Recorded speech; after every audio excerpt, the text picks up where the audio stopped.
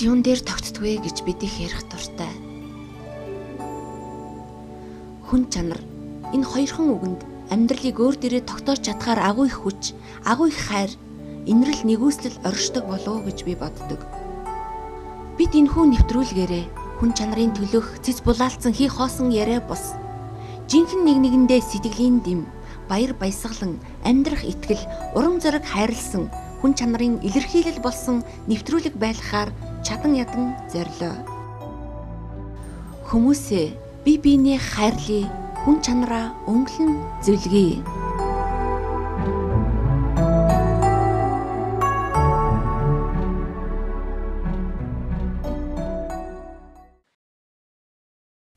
Үзэгчдээ хүн чанар нэвтрүүлгийн ээлж дугаар үзэгч та бүхэнд хүрэхэд бэлэн болоод байна. Хүн чанар нэвтрүүлгийн энэ удаагийн дугаарын хүндтэй зочноор хүмүүлгийн гавьяц зүтгэлтэн ноён жаргалгүй өргөдөн оролцоод танд өнөөдрийн мэндийг хүргэе. Баярлалаа танд ус өнөөдрийн мэндийг хүргэе. Сайн сайхныг хүсье.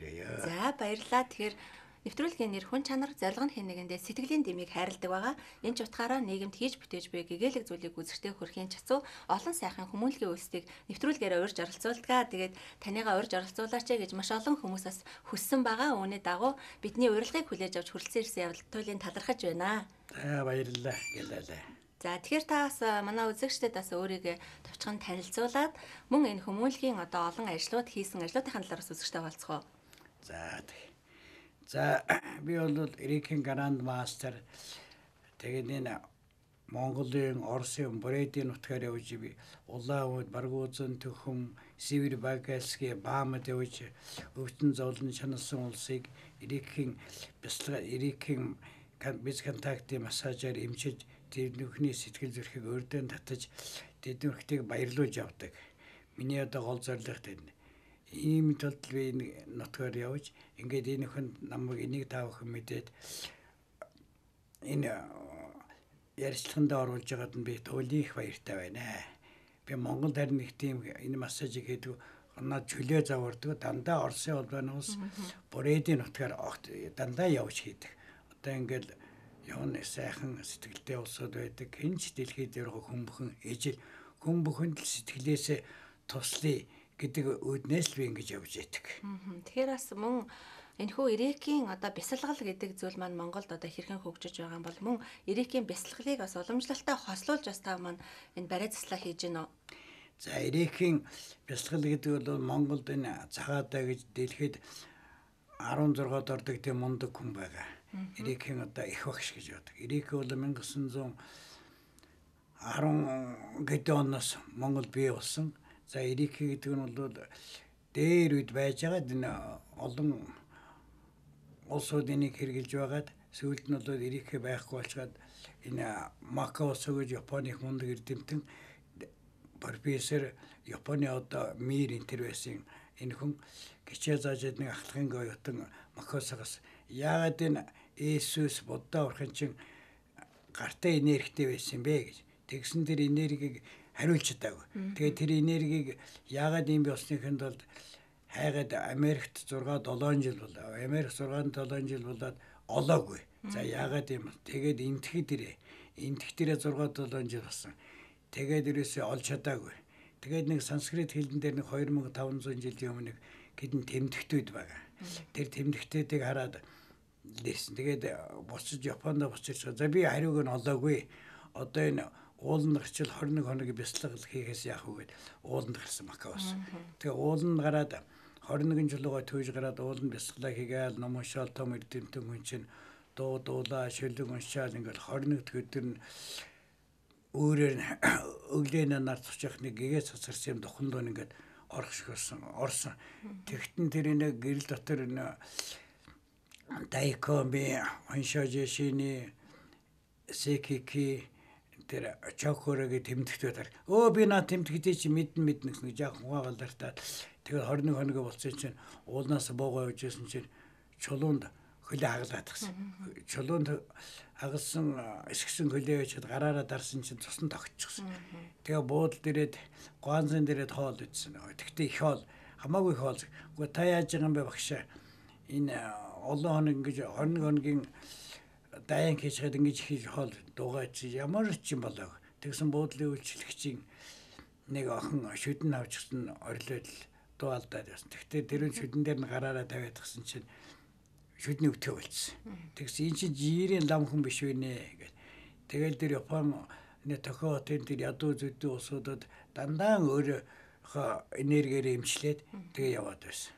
А тэр тэмдэгтүүд нь бол ерөөсө олон тэмдэгтүүд байдаг. Одоо дэлхийд дээр ердөө тавхан тэмдэгтийг хэрэгжилж байгаа. Тэр таван тэмдэгтийн хөлтөл хажууд байгаа хүн яаж эмчлэн холын зайнаас одоо бидэд биенд байж нэхэд тэр Оросын холбооны улсч бай хаач хүнийг зайнаас эмчилдэг. Энэ бол ийм шийдтэй ямар ч энэ хүн төрлөختөн лан хөөсгтэй энэ энергиэрээ өөрсдөө хүүхдээ хүн шургаад унахсан ч хүүхдээ өө миний хүү өвдгөн шалбарчгүй тэн дээрээ гараараа дардаг. Энэ бол рефлекс тэгээ тогтчихсон. Халуурсан ч гэсэн миний хүү хаана халуурч байна тохондор ингээд хүмүүлэ гартаа бол зохимжийн энергитэй байдаг. Эрийхээр хөгжүүлж энэ энерги баяжуулдаг. Ийм одоо ач тустай ийм имчилгээг дэлхийн нийт бол одоо Японд байгаа Японы дараагаар Америкт очиод Америкээс одоо ингээ барууны орнуудаар явж байна. Энэ дэлхийд төгөөмөл болж байгаа ийм гайхамшигтай имчилгээ. Энэгээр имчилэгдсэн хүн бол өрдөө зовх юм байхгүй. Ямар ч юм байхгүй. Зөвхөн одоо хүний хоёр гар байх л болоо. Энэгээр ингээ имчилдэг. Та бүхэн эрийхийг хүн бүхэн сурах юм бол ер нь өвчин зовлон зосхгүй, ийм хэрэглэхгүй. Зөвхөн эрийхийн бяцлаглаар 27хон дасгал бай. Тэрийг хийгээл явуучих юм бол та бүхэн эрүүл инг сайн сайхан амьдрал. Та бүхний тэгээд эрийхийн бяцлаглаа хийж эрүүл инх байхыг та бүхнээс хүсэж байна. Аха. Тэгэхээр бас эрикийн бяцлаглалын одоо гол одоо зорилго нь бол хүмүүсийг тийм ээ өвчин зовлонгөө тийм ээ амар тайван байлгахын тулд бас олон зүйл нь оршдог байх. Тэгэхээр мэдээж та энэ энэ хүү барай заслаараа эриктэй эрикийн бяцлагалтай холбоод олон хүмүүсийг эмчилж хүмүүнлэгийн тусыг хүргэсэн. Тэгэхээр мэдээж та бас буряд улсад очиж олон хүмүүсийг эдгэрч ялаашруулсан гэсэн. Тэгэхээр ямар одоо өвчтөй зовлонтой хүмүүс их зөнгөлж явах шиг байна. Тэр бүгдийг эрикийн одоо бяцлаглалын аргаар хэрхэн одоо ангижруулав? За бүхэл төрлийн өвчтэй босоод байна. Хэвтэрд орсон, аваард орсон, элэг бөөр нүүддэг, савн, уус нуруу нь одоо хөл гарна зүрх одоо хүн ямар л эрэхтэй бүгд л өвчтэй босоод над дээр ирдэг л дээ. 5 6 цаг очилж байгаа л ороо. Тэр өхнийг бол эрэхийн бяцлаглаараа номосхийн дагуу хийгээд тэр улсад эдгэрхгүй өвчин гэж байдаг. Хаана энерги дутуу газар байна тэнд л одоо хурж эдгэрүүлж байдаг. Ийм сайхан ач хавьяатай энэ эрэхийн бяцлаглууд ийм ийм ач холбогдолтой юм байна. Хайхан сэтгэлтэй явах үр сухалд хувийг гэхэд бид өөдөгөө сагааруул навж орон дэлхийг оршин байдлаа сагааруулж ичилнэ. Жаргал багш. Тийм учраас тэр орон дэлхийг гуйж тэднэрээс хайн энерги авч дамжуулж бусдыг болоод өөрийгөө эмчлэхээ.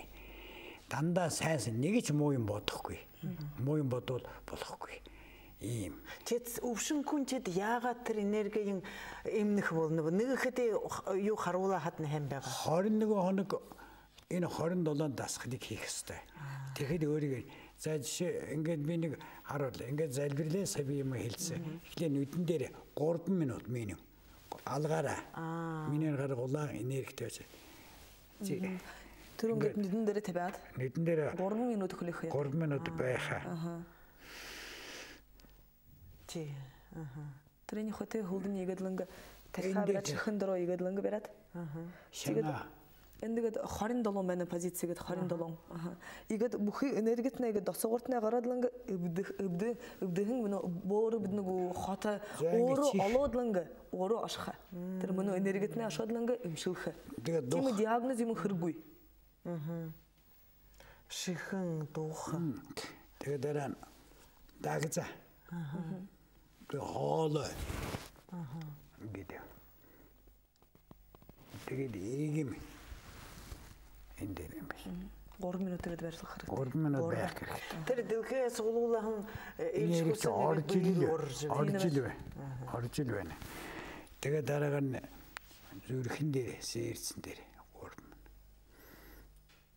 Тэгээ энэ наран сүлж хөөсний дээдлээ бекер зетигет бор тен хата тен хуби. Хул гарах гет хуб берадлынги гет гор минута берадлынги тер муну энергенин ору хурхы догурната ору эне эмшилиги гарам бен готе гара. Би э, хакы жыл турун э, дошунда эгеде конкурста хабадыхада углугур ирхиде холы гүрип түрүдүр бі долхы хрикте холы гүй Э, бақшы жарғыл монголдо улан батырты бега бен ханқы додлынга хылым жарғыл бақшы қойлым не мудат бене мұны би долха хыркте бүжі тигадлынга э, жаргыл лама холеш бегаре гадлынга гырты хугат бега бегад гара берадлынга бишанык болодлынга ныга хахыт час ныга хахыт хахыт час болодлынга дулат тушхыдым не холем не қара би тегі дейкі ғанер қоп, тир бедик бене бақшы худиш халыш бегар қыда ын мұны ғанашын егіт оры игит үхі тэр мөнө тэр хол тэр хол хаанаж бай Ирээдэг энэ тэмдэгт энэ таван тэмдэгт байх. Аа. Таван тэмдэгтэр ингээд олсын зайнаас юу гэж сайжруулах болох вэ? Биш хажууд нь байсан байгаагүй энэ таван тэмдэгтэр л. Энэ одоо игет уну энреки гышна има таван символикти игет ына символик гет хамагу гет ханан сой гет зорха хиркте вот ына стрелка гет беренте. Игет хул гет ханан сой гет зорха нидуру алгода аман сой хилера зорха хиркте алгода агардер гет гарара зорха хиркте ин символик. Игет ин тау энэ орос өгөөр бичсэн. Энэ тавл дэлхий дээр энэ вот энэ халитта вот гэрд мөнөхнө Улаанбаатар хонхододлонго дед багша жаргалда хылы муудат бэнэ мыж. Намды ижи хылы. Хулеж багарегат мыдын кытымне хулды хорнамды. Улаанбаатарта эне бэнэ харнут эне символика исцеление на расстоянии гэнэ. Игид жаргал багша игид агартар намеге зурадлонго. Элге элге. Элге. Нэг сонирн байна да.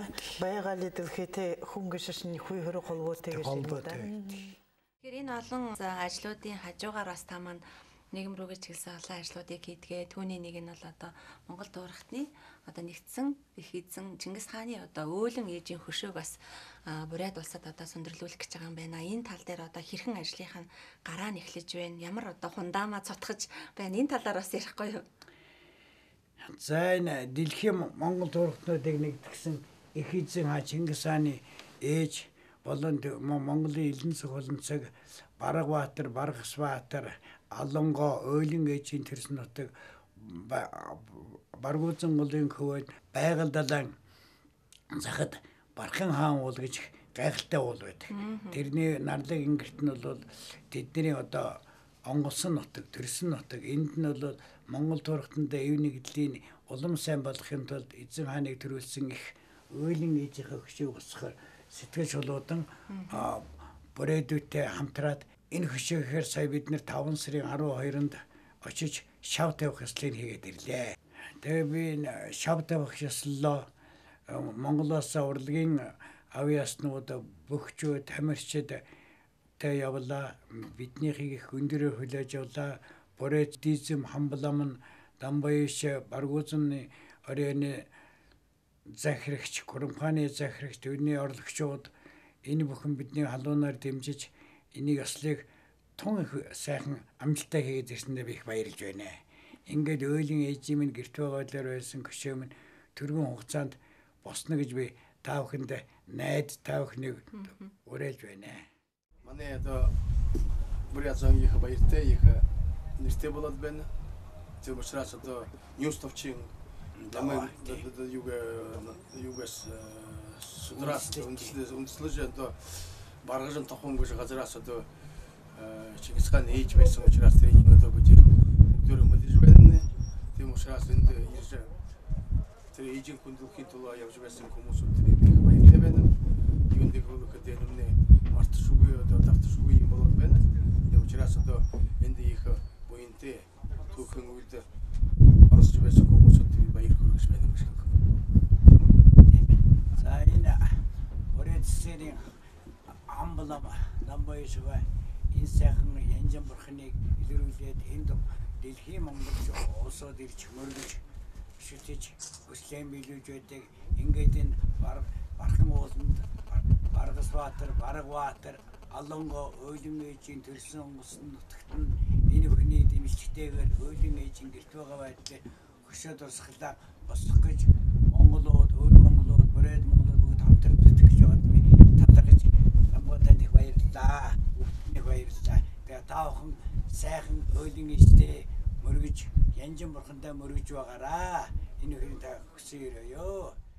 Тэгэхээр бас жаргал ахын маань хувьд энэхүү одоо том нэгэн том ажлыг одоо сэтгэж үүсгэн байгуулахаар одоо төлөвлөж байна. Тэгэхэд ямар хүмүүс бас хамтарч ажиллав. Мэдээж сая та ярьлаа шүү дээ бүрээд улсын олон одоо хүмүүс одоо хамтарсан, уриалган хүлээж авсан. Тэнд бол одоо удахгүй хөшөө сүндэрлэх нэ гэж одоо би бодож байна. Тэгэхээр манай тантай хамтарч ажилладаг болон таны одоо сүсгтэн олон мөн одоо пүүс компаниуд мөн тусламжийн гараа сунгах ямар хүмүүс вэ мэдээж аливаа ажлыг хийхэд санхүүгийн бэрхшээлүүд нэлээдгүй тулгардаг шүү дээ. Энэ тал дээр бас хэрхэн төлөвлөж байна? За, уучлаарай бол Монголд одоо анх удаа танаа телевизээр ярилцлага өгч байна. За, тэгтэр энийг хараад, энийг үзээд тэгээд тэр бидний баргуузын төхөнд явсан тэр газрын нэвтрүүлгийг хараад та бүхэн сэтгэл санааныхаа дэм тусалцыг өгнө гэж найдаж байна. Өөрөө монголчууд гэхдээ туслана гэж сэтгэлээ илэрхийлсэн байгаа. Тэгэхээр одоо бол бүрээдийнхэн бол дэмжиж туслаад эхэлсэн.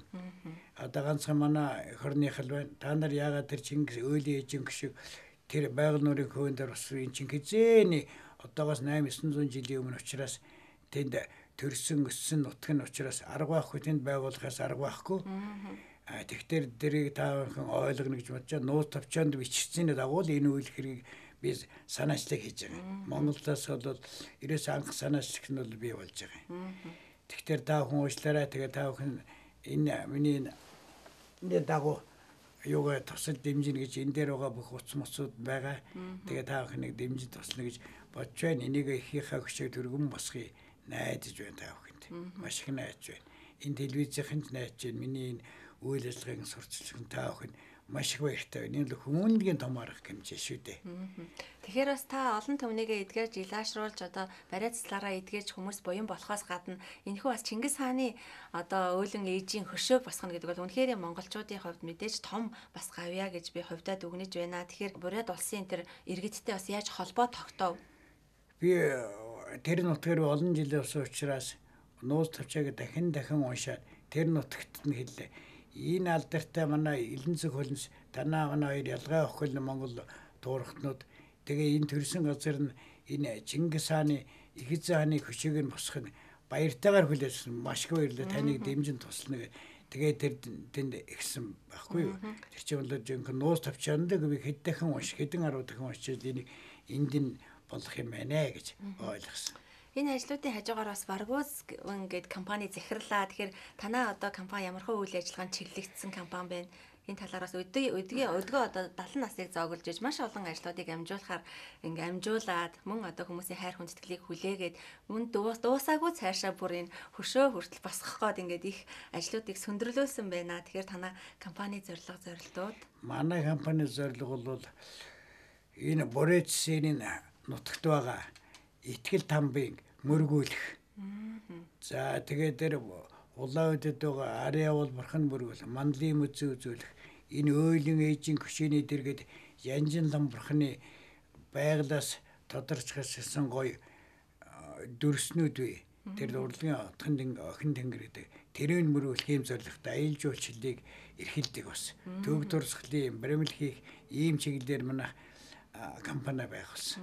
Баргуузын төхөм жаргал компани байгаас. Итгэл хам гэдэг нь бол одоогоос 1075 жилийн өмнө нас барахтаа за намайг 75 жилийн дараа гаргаад хараарэ. Гэрээ намайг хэвээрээ байвал намайг шүтээрээ. А зин болцсон бол буцаагаад булчгаараа гэсэн. За энэ хүн бол жинхэнэ мөн чанар сэтгэлийн бодитон энэ хүн бол тэгээд би төмөн олондоо тус болно гэд. Одоо энэ хүн бол тэр Борецерт явлагын тацанд байж байна. Энэ бол жинхэнэ мөн шинарт өшөө ямар бурхан гэж гэрээсэлж ирсэн. Энэ хүн бол тэгээд 75 жилийн дараа хүндэрлэгтэн тус болно гэдээ одоо тэнд байж. Энийг бол сайхан та нар артиа тавтаа очоод мөргөөд энэс сүсгүсэрлээ авч яхад та нарт их л дэм болно. Их л тус болно. Саяхан бас Орсын албатай улсын маань визгүй визэж хүлээсэн учраас маш олон хүмүүсээс ихтгэл тамбад мөргөж ихтгэл тамбад зэлбэрхаар явж байгаа. Тэгэхээр үүний маань бас гол ажлуудыг бас танаа компани бас хамтарч одоо оролцож олон хүмүүс өсөлтөө олныг уриалдаг юм байна. Тэгэхээр хэр одоо энэ жил бол маань нэлээдгүй олон хүмүүс явсан байна. Энэ жил бол одоо нэг визгүй болсон гэдээ манайхан чинь маш олон хүн мөргөж байгаа. Уул нь бол жилд 8 удаа мөргөдөө. Одоо бол өөрөөсөө өдөр болгон мөргөнө. Тэгээ шийдвэр гаргасан тэдний. Тэдний би одоо хамбан ментрийг хамбал лам тэр лам нэр бүгдийн тань одоо чөлөөтэй цагтаа надтай холбоо ороод энэ уцуудаар дуртай цагтаа би богоноор аваад явна аятаа тохтой хэл гайл дээр зоохгүй эргээд богоноор ирнэ ингээд та нар очоод мөргөөд ирнэ. Тэрний цаатал тэр янжин лам бурхан гэж гайхалтай бурхан. Энэ л хүүхэд хүүхэн хүүхдээ ханижилгүй ямар л хөслөөр бүгдийг биелүүлдэг. Энэ одоо Монголын элен цэцгийн нутгаас гарч ирсэн олон дөрснүүд байгаа энд очиж та нар мөрөхлөө эддээ мөн чихэл юм авнаа да. Ялангуяа уран бүтээлчдийг бас нэлээдгүй бэлэгшээдэг гэж ярьдаг шүү дээ. Янжин ламбархныг тийм ээ. Тэгтэр чинээд байгаль далуур ингээд явах чинь байгальдаа захаар 90 100 км явна. Бүхтэн модон дундуур явна. Энэ бол одоо амралтын газар бий. Зуны цагт 7 сар гаргаад амрахад байгальдаа ч хамгийн сайхан байдэн шүү дээ. 1 2 сард хөлдөөл 6 сард гисдэг. Одоо тэрний хооронд л мөснөр уулах гэсэн төхөөс нэгээс далай дам далай дамархлол их сайхан байгаль далайг чинь их сонин нэр штэ. Ягаад байгаль ихтэй хэдэн мянган жилийн бүүмэд ингээ байнгын энэ гал астах газар байсан байх. Энэ төр. Тэгээ байнгын гал асаад байсан, асаад байсан гэсэн нэг үтгэд тэр одоо баргуузын төхөм гэж энэ ус байж байгаа тэр усноо чи бүгд тэр байгальдаа тэр галаа унтрах гэдэг тэр юу илгэсэн. Тэр юу илгэсэн ачийн дэх гүнзгий ус учраас тэр чинь ерөөсө давс мос байхгүй зингийг ийм усалаа тогтчихсон. Тэгээ нөгөө ус байсан газар нь ингээд хуурай газар болоод ийм их үржил хэмтэй ой модтой ийм газар болоод тогтсон байхгүй. Энэ бол бодит түүх юм да. Тэгэхээр Баргуусан гэ танай компани бол үйл ажиллагаа бас аялал жуулчлалаар хүмүүсийг авч явж ихтгэл тамбад мөргүүлэх мөн одоо байгаль далаатай танилцах олон одоо бас газруудаар аялуулах тийм боломжтой юм биш үү. Тэгэхээр мэдээж доорх утсуудаар холбогдож манай үзэгчид бас манай жаргал ахтай уулзах мөн жаргал ахын компани хүмүүстэй уулзаж бас аялах боломжтой байна гэж би бас өвдөө үзэж байна. Тэгэхээр манай нэвтрүүлгийн нэр хүн чанар. Тэгэхээр та хүн чанар гэж юу гэж тодорхойлох бол хувь хүн болгон л өөрөө өөрийнхөө дүгэн цэгэндэг шүү дээ. Хүн чанар гэхээс хүн хүндээ сэтгэлийнхээ гүнээс л тусал дэмжиж хайр инэрлээ өчл байх хэрэгтэй. Хүний хуурч мэхэлж болохгүй. Жинхэнэ сэтгэлээрээ л тусалж явах. Тэгжэл хүний чанар мэдгэн. Ерэн тэгээ хүн үүрэг хариуцлагаа сайн ухамсарлах хэрэгтэй ирэх бол тэр тээдэргүй байж л байдаг. Үүрэг хариуцлага дутсан учраас одоо янз янзын ажиллагаараад байна шүү дээ. Хүн одоо хамгийн түрүүл үүрэг хариуцлагад анхаарах хэрэгтэй. Тэгжээч хүний хүн чанар мэд. Үүрэг хариуцлагаа мэдэхгүй бол хүн хүн чанар гарахгүй. Тэгэхээр бас та маань маш олон одоо үүрэг хариуцлага ухамсарлаж энэхүү олон ажлуудыг амжуулж олон зүйлийг хийж аваа. Тэгэхээр мэдээж хэрэг олны өвч оломгоо далаа гэж ганц хүн юу ч хийж чадахгүй. Иргэн тойрон одоо хамт олон баг хамт олон тэгээд ичаав гэр бүл үр хүүхдүүд гэд байдаг шүү дээ. Тэгэхээр бас таны хувьд гэр бүлээ бас танилцуулахгүй юу? За би нэг хүү охин хоёртэй. За хүү мань одоо нэг одоо бүхэл имлгүүдийн тэр одоо үзүүлэхэд карт нээдэг байсан. Одоо тэг компьютерт компьютер тэрийг бий болгож гисэн Энэ бол хүмүүнд гэж тийм биз? Тэгэлгүй яах. За тэгээд одоо энэ замын цагдаагийн одоо нэг гэрэл тохиомох бүх юмыг бий болгож гисэн. За хүм охин маань шүдний юмч. Хүнд ингэж л дандаа хүмүүнлэгийн тусмын зүйл ийм л мэрэгч. Одоо тэгээ ачийн нэрээ бол бас л эмнэлгийн талыг хүн тусалдаг ийм л мэрэгжил эзэмшүүлээ гэж бодсон. Тэгээ өөрсдийнх нь хүчин сонирхол авьяас мэднэс тээ. Тэгэлгүй яах. Тэгэхээр ер нь таны хүмүүнлэгийн одоо гавьяат үйлстэн одоо тэмдэгэ хэрхэн ав мөн одоо бас манай дэлхийн Монгол туурхтны гавьяат болсон биш үү? Гавья гэдэг энэ одонгор шагнагдсан байна. Тэгэхээр мэдээч хэрэг нүдэ олсон шагналаа гэж би хувьдаа үзэж байна. Ягаад тэгэхээр маш олон хүмүүс бас эмчлүүлж эдгэр илааширсан мөн одоо нийгэм рүүгээ ч гэсэн бас ажлуудыг хийж гэн шүү дээ. Босод одоо улс орн руу бас аялал жуулчлалыг өргөжүүлэх энэ маань одоо эргээд манай биднэрт бас үр дүнгээ өгдөгөө. Тэгэхээр энэ олон ажлуудыг хийсний үр дүн байх гэж би бодож байна. 2013 онд Ирикийн холбооноос намайг хүмүүнлэгийн цэцлэх гэдэг та бол Оросын холбооноос бүрээсээр энэ хаан та хүнд хүн чанар гаргаж их тусалж байгаас тэрийг зайлшгүй таньдах хэрэгтэй маа гэдэг гэсэн. 14 онд Дэлхийн Монголын туурхтны академи ороноос та ингэж барьцлыг сайн гэдэг та Дэлхийн Монгол туурхтны академиас танд барьцлын гавьяаны одоо өглөө гэсэн. Байхтэй энэ социализм үед хүнд жуух мөх одонгууд бий л дээ. Тэгтээ энийг би өөрийнхөө хүч хөдөлмөрөөр үнлүүлж авсан учраас эднэртэй их баяртай байт. Ер нь бол мэдээж зэрэг маш олон юм өөрийнхөө хүч чадал одоо авиас бэлгээр олон хүмүүстэй ингэж нийгэмшиж нийгэмд орж тийм ээ тэр хүмүүсийг бас уриалан дуудаж баяр баясгалангаар дүүргэж яадаг энэ хүмүүсийг бас төр маань орхигдуулаад байна уу да гэж би бодогддгийн тэгэхээр мэдээж утгагүй төрийн том шагналуу таныг хүлээж байгаа хаа мэдээж ялангуяа Бурят улсын одоо бусад улс орнуудад бол маш олон хүмүүс танаар эмчлүүлж Монголынхаа нэрийг бусад улс орнуудад гаргаж яваа гэдгээр бас нилээдгүй хүмүүс ярьдгийн бэлээ, мэддгийн бэлээ, таньдгийн бэлээ мөн гавьяатууд уран бүтээлчд болоод олон хүмүүстээс хамтарч ажил зөвхөн ганц бие гэхгүй эргэн тойрон уран бүтээлчдийг бас дэмжиж ажиллаж мөн одоо тэр төвхт зүйлүүдийг бас үлдээдэг нь өнөөдрийн бас одоо Чингис хааны өөлөн ээжийн хөшөөтэй бас халбоотой маа гэж би бас бодож байна. Тэгэхээр үүнийг ч бас хийж хэрэгжүүлж байгаа, хамтарч ажиллаж байгаа олон хүмүүс бас танаараа бахархаж байгаа хаа. Тэгэхээр өнөөдөр бас би хоёулаа бүтэн өдрийн турш хамтдаа байж энэ нэвтрүүлгээс үргэлжлүүлдэг байгаа. Тэгэхээр нэг нэг баярлуулж хэнийг бас мэдээч хэрэг өнөөдөр э, Чингис хааныхаа хөшөөн дээр очихгүй бол болохгүй бах. Ягаад тэгэхээр ээжийнх нь хөшөөг одоо босгох гэж байгаа шүү дээ тийм ээ. Тэгэхээр энэ талаараас үзэгчтэй хоёлаа яранга өнөхөө нэвтрүүлгээ үргэлжлүүлэн хүргье.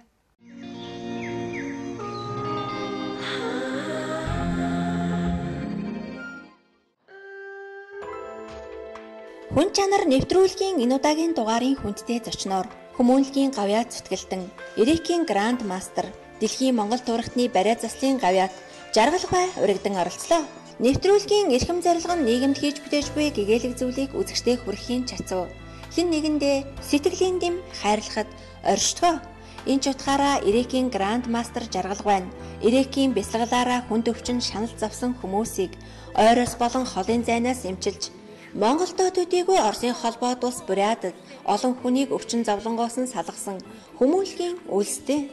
Тэрээр зөвхөн хүн эмчлээд зогсохгүй нийгэм рүүгээ чиглэсэн олон ажлуудыг хийж хэрэгжүүлдгийн нэгэн хэсэг нь Монгол турхтныг нэгтгсэн их эзэн Чингис хааны их үүлэн ээжийн хөшөөг байгаль далайн захад бархан хан уулын нарлаг ингэрт босгох гэж хүч чадал бүхий л зүйлээ дайрчлан ажиллаж байна. Түүний энэ ажлыг олон сайхан сэтгэлтэй хүмүүс дэмжиж ажиллаж байгаа бөгөөд Монгол улсын ардын жүжигчин Сов, Монгол улсын гавьяа жүжигчин 65, Монгол улсын соёлын тэргүүний ажилтан Болормоо гэх мэт олон сайхан уран бүтээлчид хамтран ажиллаж байна. Эрхэм үзэгчтэй хүн чанар нэвтрүүлэг маань үргэлжлэн та бүхэнд хүрсээрэн. Тэгэхээр өнөөдрийн нэвтрүүлгийн хүндтэй зочин болох хүмүүнлэгийн гавьяат үйлстэн жаргал ах маань оролцож байгаа. Тэгээ өнөөдөр бидний нэвтрүүлгийн зорилго бол хэн нэгнийгээ баярлуулж хэн нэгэндээ сэтгэлийн дэмийг хайрладаг байгаа. Энэ ч утгаараа бас өнөөдрийн зочин маань хамгийн хүндтэй хүн дээрээ бас баярлаж явдаг, талархаж явдгаа илэрхийлэхээр хүрэлцэн ирсэн байна. Тэгэхээр өнөөдөр үнэхээр энэ 65-гаар одоо бахархахгүй Монголын ард түмэн байхгүй. Жаргал миний бие 65-га Монгол улсын гавьяат соёлын гавьяат зүтгэлэн танд цэнгэр хадгаараа байгаль нуурын цэнгийн уснаас хайн байж болсон энэ сайхан чулуугаар танд бэлэгөр сюрприз барья. За баярлалаа. Байгаль далаа шиг цэвэр ариун урт удаа насалж энэ цэнгэр хадаг шиг байхын өлжитэй өрөөлөг өргөн өргөн дэвшүүлье. За би байгаль талаа хажуугаар явсан. Ягаад гэвэл надад нэгэн өдөр манай ардын жүжигчин төрийнсэн сувдаа маань уцтаад 65 нэг хүн байна чи нэг тэр Гурам хаан гэдэг хотод одоо очоод тэнд нэг Янжил хам бурхныг тухай одоо тэнд бууж ирдгийм байна тэр хатан дээр гардгийм байна дүрсэн тэрэнд одоо тэгээ тэнд нэг том наадан болж байгаа юм. Бурятын бүх лам нар хамбууд бүгд очсон. За тэгээд тэнд бурятын ард түмэн очсон. А манай Монголоос одоо энэ жаргал гэж хүн явах гэж байгаа юм байна. 65 хүн чи явж өгөхгүй юу гэж ингэж өссөн. Тэгээ би уцаар гэж ясан хурандаа уу юм гин. Нас хэдүү гэсэн чинь 73 настай гин. Хой нөхөр чи арх уудгүй гэж асуусан чинь би ерөөс арх амсдгүй гин. Тэгээ надтай их таарддаг юм байна. Тэгээд хүмүүлийн одоо ажил би одоо энэ хүний төлөө ингэж үтгэж яваамаа. Тэнд бас өөлөн ээжийн хөшөө бий болох гэж байгаамаа. Тэгээ Монголын ард түмнийхээ өөлөн ээжийг Тэндхийн одоо буряд Оросын ард түмэнд бас хуулан тань үүж тэр бас юу хүндэтгэл үзүүлж одоо мөрөгж явах нь шүү дээ. Тэнд чинь. Тэгээд одоо тий тэгээ янжил хам бурхантай маань хамт тэнд бас өөлөн ээж минь байх юм байна. Тэгээд би өөрийгөө хөгшин гэдг нь залуу гэд чихэр идээд байдаг болохоор над шоколад чулуун өгч байгаа шиг байна. За ингээд одоо найс нөхөртөө биднийг одоо их сайхан авч явсан. Ер нь удирд тухайн гэж юу вэ гэж хэлэх юм бол ингэдэг байхгүй юу? Удирд тухайн гэдэг бол дуртай сэтгэлээр нь ажилуулах чадварыг удирдах ухаан гинэ гэж. Тэгэхээр энэ хүнд бол удирдах ухаан байна. Биднийг дуртай сэтгэлээр нь маш их хүндгэж ингэж явж ирсэн. Орой шөнө хүртэл цай барайлгүй нь хоол хүртэл барьж ирээл урд мань барина. Тийм учраас одоо энэ хүний энэ сайхан сэтгэлийг бас их хүндэх ёстой юм. Яагаад энэ хүн ийм сайхан сэтгэлтэй байна вэ гэд хүн байгаа юм. Хүний дотоод ертөнц гэж байдаг. Өөрөөр хэл урлаг дүр энэ төр бол хүний дотоод ертөнцийг судалдаг ухааныг одоо дүр судлах гэж яаж тадаг чинь. Хүний дүр гаргадаг. Нэвтрүүлгийн нэр хүн чанар. Тэгэхээр та хүн чанар гэж бас юу шүү дээ. Харин тий. Тэгэхээр хятад нэг юм байдаг шүү дээ. Дэлхийд дээр нэг л хятад гэж. Тэгвэл дэлхийд дээр нэг л Монгол байх хэрэгтэй юм. Энэ халимаг, энэ туваач гэдэг юм уу, энэ Монгол гэж буряд казак гэж ялахгүй. Бид нэг л Монгол байх хэрэгтэй нэг Монгол байна гэдэг чинь нэг сэтгэлтэй, нэг зүрхтэй байна гэсэн үг. Тийм учраас бие биенийг хайрлаж хүндлэх тэр хүнлэг сайхан чанар бий болох. Хүнлэг чанар хаанаас бий болохоор хүний оюун ухаанаар дамжиж сэтгэлээс гардаг. Ийм мэдэв байна. Тийм учраас энэ хүнлэг сайхан чанарын төлөө энэ хүн зүтгэж явна. Наазах нь хилээр гараад Оросын навшигт очиад шалгуулахад Ой, Күрм хаан гэж. Күрм хаан явж гэнэ гэдэг. Тэгээ би ингэсэн бэхгүй. Күрм хаан гэж юу хэлж байгаа юм гэж.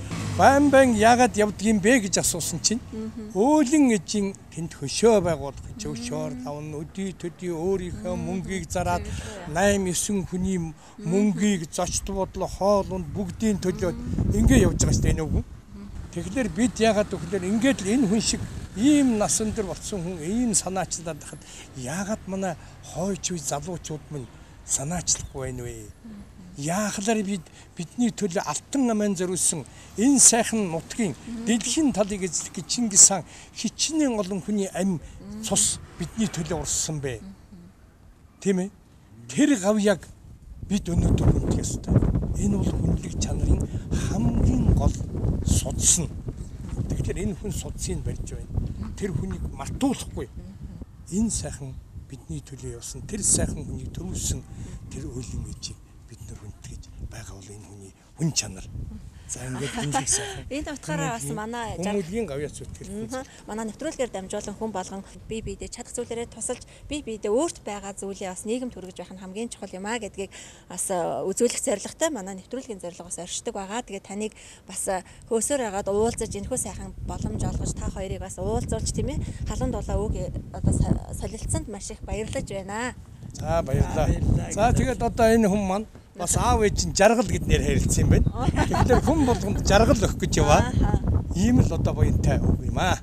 За улам их амжилт. За тэгээд нэг аяа мөн шүлүү гэлчих нь байгаа чи. Тэр далайн өмнө ингэ дуусан юм. За дээр үед би залуу байхдаа 60 хэдэн онд дуулж ирсэн. Хөгжим дуулчих. За Баян их байгалаа минь Батар оргон сэштэй Буряд Монгол ормэн багтам сайхан яргалтай гэж дуулж ирсэн. Браво. Тэгээд буряд дуучсан манай буряд орны гэж байна. Манай байгаль далайг. За маш их баярлалаа. Байгаль бол сэлэнг орхон мань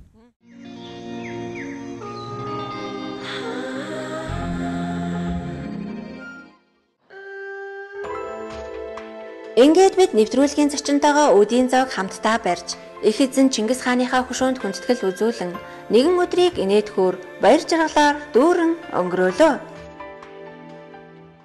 За нэвтрүүлэг үргэлжилсээр байна. Тэгэхээр бас бид бүхэн одоо Сүхбаатарын талбай Чингисийнхаа хөршөөнд очиж хүндэтгэл үзүүлэхээр явах гэж байна. Тэгээд энэ хооронд бас түр альжаалаа тайлаад хэсэг хугацааг таныг бас саатаасаа гэж хүссэн байгаа. Тэгэхээр ер нь олон бурхтуудыг бас нэлээдгүй дахин шүтэж дээдэлж ирсэн гэж ярьдаг. Тэгэхээр янжин л лам бурхан маань одоо ямар утга учиртай бол бас үзэгчд магадгүй зарим нь мэдхгүй ээж магадгүй тэгэхээр анжил хам бурханд одоо залбирснараа мөргснөөрөө дахин шүтснээрээ одоо ямар ач холбогдлоодтай байд юм бол энэ талаар бас та болцохгүй юу За Янжлан бурхан гэж улаа улаа үдээс 350 мм газар байгалийн үзэсгэлэнт газараар бүтэн оошгүй тайга дундор далайн сахаар яваад очино. Тэгээ хадан дээрээс гээд өөрийнхөө хүний нүдэнд янз янзаар харагдана бүжгэлж байгаа, таанзж байгаа, хөгжим тоглож байгаа, дуудулж байгаа энд очиж мөргсөн хүн энэ энэ дэлхий дээр байгаа одоо бус орнуудыг их мөргөн шүтдэг болоод байгаа. Энэ жил 12 дахь жилээ байгаа. Байгалиас тодорсон хүн олон янзаар хараад энд очсон хүн хөөгдгөө хүн хөөгтэй болно.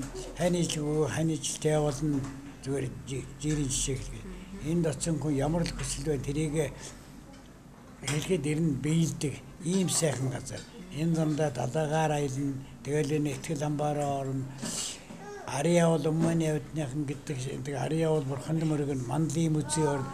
Бүхэл юм нэг үсэн яваад ирэх энэ аялал тавхныг шимтэн очиж аялж янжин бурхандаа мөргөж өөлин ээжин хөшөө тэнд гэрчээ тэнд очиж мөргөж байхыг даагнаас хүсээ энэ зардал мөн их бишээ.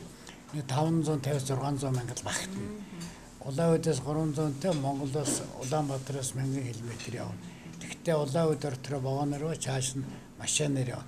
Зам гэдэг үнэхээр гайхамшигт газар байгальлаа захаа. Энийг л таавханд очиж энэ шинэ маршрутаар явахыг та нарт зөвлөе. Янз янз амархан бол үнэхээр гайхалтай. Жил болгон бүрээдүүд тахиж шүтдэг, бархан ханыг тахидаг.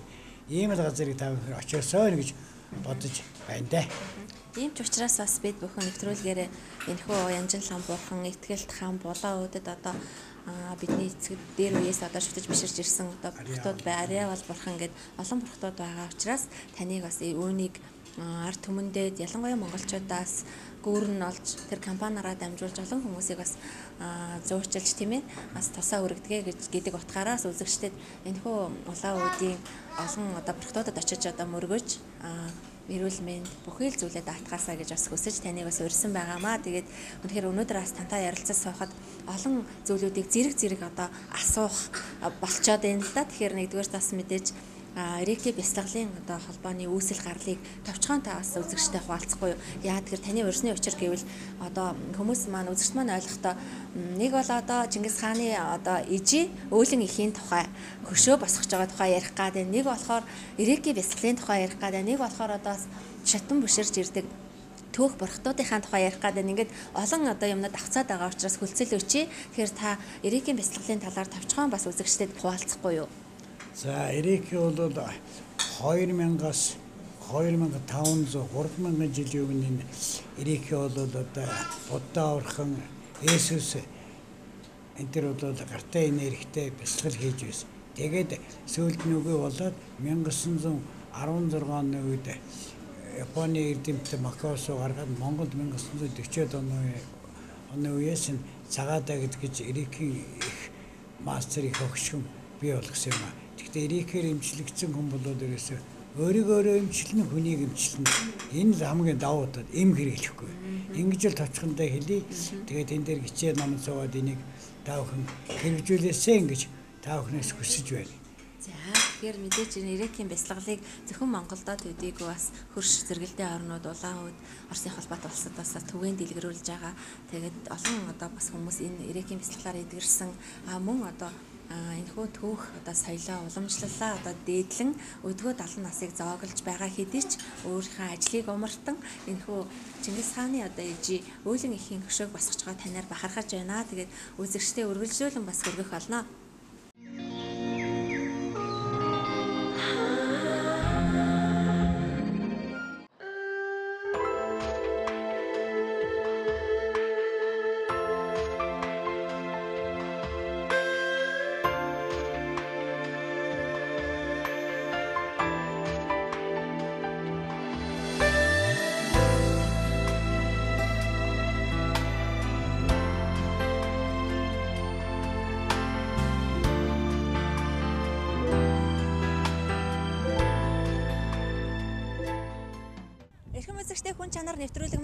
Маань та бүхэнд хүрсээрээ. Тэгэхээр өнөөдрийн нэвтрүүлгийн хүндтэй зочин хүмүүлгийн гавьяат үйлстэн манай жаргал ах манаас өнөөдөр энэ хөө өөлөн ээжийнхаа хөшөөг босгох гэж байгаа. Тэгээ мэдээч хэрэг өөлөн ээжийн ууган хөө Чингис хааныхаа хөшөөн дээр бас хүндэтгэл үзүүлээд энд бас хоёлаа яриагаа үргэлжлүүлж байна. Тэгэхээр та маань одоо энэ энэ хөшөөг одоо яага босгох болов мөн одоо энэ дээр ирсэн сэтгэлдээ бас хуваалцахгүй юу? За баярлалаа гэлээ. Өөлөг ээжийг хөшөө Чингис хааныхаа Монгол урдын нэгдгсэн их хүний төрүүлсэн их хөшөөг төрсөн нутагт нь босгох гэж байгаа учраас их гавьяатай хүнд хүндэтгэл үзүүлж явнаа. Тэгээд энэ Сүхбаатарын талбай, Чингис хааны талбай энэ өхнийг хүндэтгэл үзүүлж байгаадаа баяртай байна. Та өхний үйлс бүхэн цагаанаар дэлгэрэх болтугай. За Тэгэхээр мэдээж өнөөдөр манай нэвтрүүлгийн зочны маань гол зорилго одоо Чингис хааны маань одоо ээж өөлөн ээжийн одоо хөшөөг бол яг төрсөн нутаг дээр нь босгох гэж байгаа. Энэ энэ маань бол Улаанууд хотын одоо хотоос 350 км зайтай Баргуузан төхөм гэдэг газар сүндэрлэн гэрт байгаа байдлаар нь босгоно. Сая шавх тавих ёслоо хийгээд ирсэн. Та бүхэнд баярлалаа гэлээ. Аа тэгэхээр ер нь энэ улаан өвд хотын баргуусан одоо тэр төхмийн төхөм гэдэг одоо суурин одоо тосхон гэсэн үг үү тийм ээ. Энэ тосхонд бол манай өөлийн ээжийн маань одоо хөшөө сүндэрлэн босох нэ. Тэгээд үзэгч та бүхэн ч гэсэн үнэхээр энэ өөлийн ээжийн хөшөө нь сэтгэл зүрхээ гаргаж хамтдаа хамтарч ажиллаж энэхүү хөшөөг босохыг хүсвэл манай доор хуцаар холбогдож манай жаргал ахтай уулзаарай. Тэгээд жаргал ах маань бол үнэхээр энэ хөшөөг босохын төлөө хүчин зүтгэж бас нийгмийнхаа одоо хариуцлагыг ухамсарлан олон одоо манай энэ өвөөнрийг төлөөлөн өдгөө 70 насыг зооглож иж маш олон одоо ийм сайхан зүйлүүдийг сэтсний нэг нь бол энэ өөлийн ээжийн маань одоо ээжийн маань хөшөө байгаамаа. Тэгэхээр манай үзэгчид бол сонирхож үнэхээр энэ түүх соёл Өнөхөө одоо түүхээ мартахгүй байхын тулд энэхүү түүх дурсгалын зүйлийг үлдээх гэж байгаа нь бол өөр хөөгтүүд хамт ажилладаг зүсэгтэн олон бүх одоо хамтран ажилладаг хүмүүсийн бол хүч бүчээ богч байхаа гэж бодож байна. Тэгээд та бас өнөөдөр энэхүү хүн чанаргийн нэвтрүүлэгт маань одоо урагдж ирж бидний урилгыг хүлээж авч энэхүү Монгол төмөндөө энэ өөлөн ихийн хөшөө болоод Ирекийн бясалгалын талаар мөн одоо өөрийнхөө аялал жуулчлалын компани манаас өргөжин олон хүмүүсийг бас сэтгэлд хам тийм ээ одоо сайн сайхан зүйлийг одоо дуурайлан дууддаг энэ уран бүтээлийн одоо янжин лам бурханд мөргүүлэх гээд олон одоо бас сайхан ажлуудыг хийж байгаа юм байна. Тэгэхээр бас манай үзэгчид орох хугацаар холбогдож манай жаргал ахта бичлэн уулзаж олно. Учир нь манай жаргал ахын маань хувьд гэвэл улаан манай төрсөн нутагта байх нь ховор урилгаар одоо бас энэ Иркутск, Улаан үд гэх мэтчлийн одоо ар нутгаар явцдаг учраас бас тэр болгон байдгүй юм байна. Та бүхэн одоо энэ хөө хөшөө дурсгалыг нь хамтдаа хийж энэ хөө сайхан хүнээр эмчлүүлж одоо эдгхийг өсөөл бас манай доор хуцаар холбогдоорой. Би бол тэгээд Север байхаас гэр хөөцөг улаауд баргуусан зохимгоо явуулчихдаг. Тэгээд баргуусан төхөм дээр байгаль далайн хөвөнд баргуусан голын зах дээр босох хөшөөгөө нефрит гэж орсууд ярьдаг. Хашаар босхоор энэ төлөвлөсөн байгаа шүү. Хаш бол үнэтэй хөөрг ямар үнэтэй. Тэр нутагт тэр элэнцгүүдийн төрсөн нутагт тэр хач бол илдэг байт юм аа. Сансиосоор сэтгэлчлэн бүтэн та бүхний дэмжлэг тусалцаа их нэмэрлэнэ гэж бодож байна. Баярлалаа сансар телевизийн хамт олон та бүхэнд сэтгэлийн үнээс баярснаа хэлье.